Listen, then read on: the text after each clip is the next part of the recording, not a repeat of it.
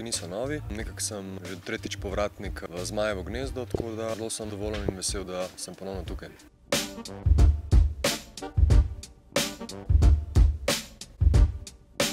Moram reči, da kar z dostimi sem že igral, predvsem slovenskim delom. Tukaj sta Jaka in Edo, s katerima sem že bil v istih ekipah. Večino ostalih soigralcev poznam. Moja osebna pričakovanja so visoka, seveda pa bomo šli oviro po oviro in korak po korak.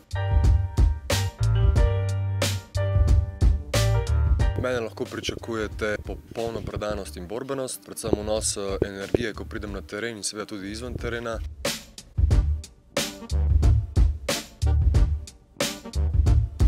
Si zelo želimo, da bi bili navijači z nami na vsakem koraku, ker bi nam sigurno bilo lažje se s skupnimi močmi z njimi boriti proti zelo atraktivnim in privlačnim ekipam.